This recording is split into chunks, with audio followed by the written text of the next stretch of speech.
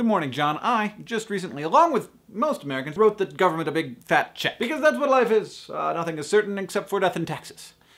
Uh, and also the speed of light in a vacuum. Actually, now that I think of it, many universal constants are more certain than death and taxes, but I'm getting ahead of myself. Taxes! Uh, while I'm not precisely happy to be rid of my money, I am in favor of government and all that jazz. And most of the 16,000 freaking dollars that I just sent to the US government is gonna be used to decrease suck in some way. Making sure that people who lose their jobs don't become immediately homeless, education for people who wouldn't otherwise be educated, and healthcare for people who otherwise couldn't afford it. All of these fantastic things. But when it comes right down to it, not a lot of the money that I just gave my government is gonna be used to do cool stuff. Don't get me wrong, I'm totally in favor of reducing suck, but like my grandfather always said, using the great and awesome power of the United States government to decrease suck without ever increasing awesome is a little bit like using the Starship Enterprise as an interstellar shipping barge. But for people like me, I am happy to announce that deep in the budget there are a few percentage points dedicated to increasing awesome. For example, the money that the United States government spends on science and technology. This is a graphical representation of the United States budget. It's divided up, and, and you might think this, this, this, maybe some of these things are the science. No,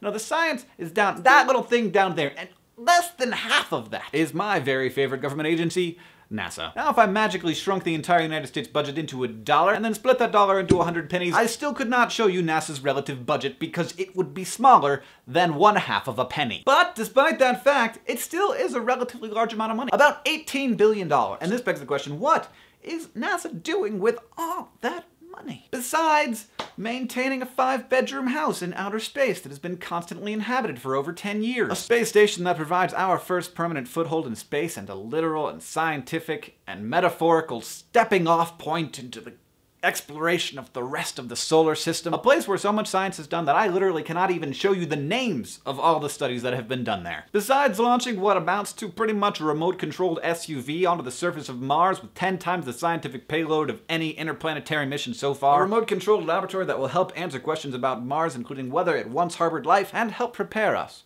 for manned exploration of the red planet. Besides creating a worthy successor to the Hubble Space Telescope, allowing astronomers to see further than they had ever hoped to see before, and allowing humanity a first glimpse at the very origins of the universe. A telescope that can see 13.4 billion years into the past. Besides inviting the private sector into the space industry, offering them patents on technologies developed for NASA, and fostering the growth of an entirely new sector of the economy. Besides placing the first artificial satellite around Mercury. Besides making air travel faster and safer and more environmentally friendly. Besides building the first telescope capable of capturing high-resolution X-ray images. Besides adding three more climate monitoring satellites to the already existing fleet that will help us understand our changing climate and how to react to global climate change. Besides creating frameworks and technologies and challenges that will help inspire the next generation of engineers and mathematicians and scientists. Besides identifying thousands of planets outside of our solar system, many of them apparently Earth-like with liquid water. Besides launching the final two space shuttle missions while simultaneously developing a new multi-purpose crew vehicle capable of visiting not just the orbit of the Earth, but possibly the Moon